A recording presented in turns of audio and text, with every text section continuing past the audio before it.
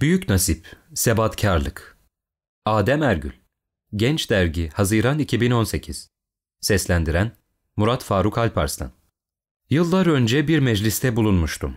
Orada alim ve arif kimseler de vardı. Konu döndü, dolaştı, bir meseleye odaklandı. Sebatkarlık. O mecliste bulunan sahibül vefa Musa Topbaş, Kuddisesi ruh buyurdular ki, sebatkarlık büyük bir nasiptir. Herkeste bulunmaz. Halbuki bütün başarılı insanların ortak vasfı sebatkar olmalarıdır.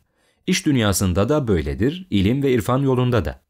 Bir Arap atasözünde denilir ki sebatkar olan büyür ve gelişir. Sebatkarlık bir fikir, iş ya da hedefte ısrar ve kararlılıkla durabilmektir. Sebatkarlığın zemininde iman, sabır, azim, tevekkül ve hedefe kilitlenme gibi faziletler vardır. Yaptığı işin ehemmiyetine inanmayan kimselerde sebatkarlık olmaz. Zira sebatkarlık sürekli bir heyecana ihtiyaç hisseder. Heyecanın bittiği yerde güç de, ufukta biter. Ayakta mecal kalmaz. Bu heyecan ise imanla, inançla oluşur ve devam eder. Bu sebepledir ki imanda şüphe büyük bir kalp hastalığıdır. Girdiği yoldan dönenlerin birçoğunda görülen hastalık şüphe hastalığıdır. Bir işe ya da yola girerken yeterli araştırma, sorgulama ve istişareler yapılmalıdır. Ancak yola çıktıktan sonra da sebatla yol almak başarının olmazsa olmaz bir gereğidir. Sabır sebatın bir alt kategorisidir. Sebat belki sabırlar toplamına verilen bir attır. Sabırsız kişilerde sebat ahlakı oluşmaz. Zira hayat zorluklar karşısında sabırlarla yürünen bir yoldur. İnsanı sebatkar olmaktan alıkoyan hususlar sadece zorluklar değil, hayatın lezzetleri de aynı oranda ve belki daha fazla engel teşkil ederler. Dini literatürde bu nevi tuzaklara nefsin hevası denir. Nefsin, insan benliğinin hem hakları hem de hazları vardır. Haklar verilmeli, hazlar sınırlandırılmalıdır. Sınırsız haz hastalığı sebatkarlığın en büyük düşmanlarından biridir. Hazreti Mevlana der ki, Nefsin isteklerine uyan kişi saman çöpü gibidir. O her arzu rüzgarının önüne düşer, savrulur durur. Sebatlı, ihtiyatlı kişi ise dağa benzer. Bir dağ hiç esen rüzgara değer verir mi? Sebatkarlığın bir diğer alt kategorisi ciddi bir irade ve azimdir. İrade, isteğinde samimi olmanın sonucunda oluşan kararlılıktır ki sürekli beslenmeye ihtiyaç hisseder. İrade çözülmesi sebatkarlık kalesinin en önemli kilit taşlarının düşmesi demektir. Azim ise güçlü iradenin fiil ve davranışla buluşma aşamasını ifade eder. Kişiyi harekete geçirmeyen iradeye azim denmez ve belki temenni denilebilir. Temennilerle ise hiçbir sonuç elde edilemez. Temenni, içine arzu karışmış boş bir hayalden ibarettir. Sebatkarlığın oluşumunda bir diğer yapı taşı tevekküldür.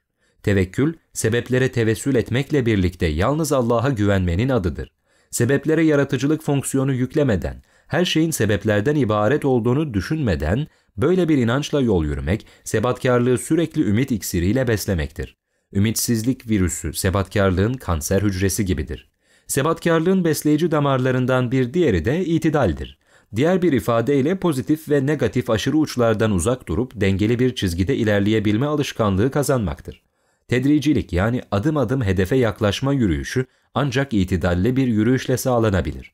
Sebatkarlık da az da olsa hedefe doğru daimi bir yürüyüşle gerçekleşir.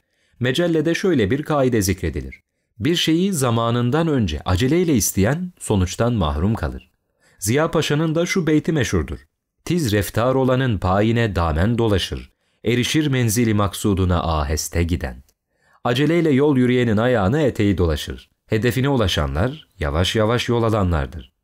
Sebatkarlığı gerçekleştirmesi bakımından sabır telkin eden dostların etkisini de unutmamalıdır. Kendisiyle baş başa kalanlar, diğer bir ifadeyle nefsinin fısıltıları ile gönülleri bulananlar, uzun süre yol yürüyemezler.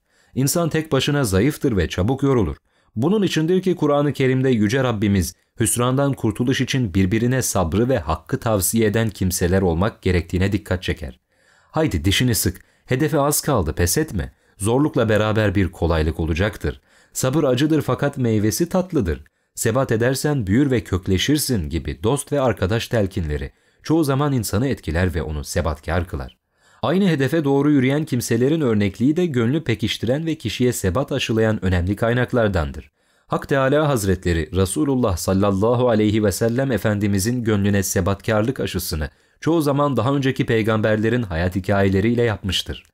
Bu itibarla kişi hangi alanda yükselmek ve başarılı olmak istiyorsa o alanın öncülerini iyi tanımalı ve izlerini ısrarla takip edebilmelidir. Alim olmak isteyen alimleri, arif olmak isteyen arifleri, usta olmak isteyen alanının mahir ustalarını, lider olmak isteyen de çığır açan liderlerin hayat hikayelerinden beslenmelidir. Bu gayenin tahakkuku için biyografiler, başarı hikayeleri, kıssalar ve menkıbeler, sebatkarlığı besleyen önemli hazinelerdir.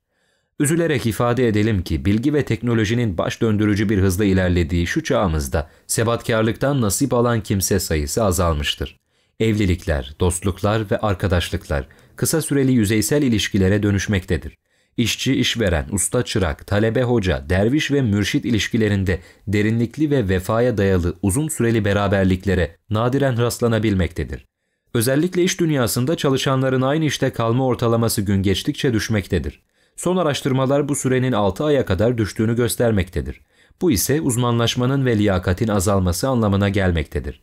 Herkes için aynı şeyi söylemek mümkün değilse de genel bir görünüm olarak yüzeysel, ham, olgunlaşmamış kişiler gün geçtikçe çoğalmaktadır denilebilir. Batılda ve yanlışta ısrar ve inat, sebat değil, cehalet ve ahmaklık nişanıdır. Buna mukabil hak ve hakikat yolunda yılmadan ve geri adım atmadan ısrarla yola devam etmekse sebatkarlıktır. Böylesi bir sebatkarlık hakkın kuluna bir lütfudur. Böyle olunca da Allah'tan sebat istemek, hayırda muvaffakiyet için vazgeçilmez bir zarurettir.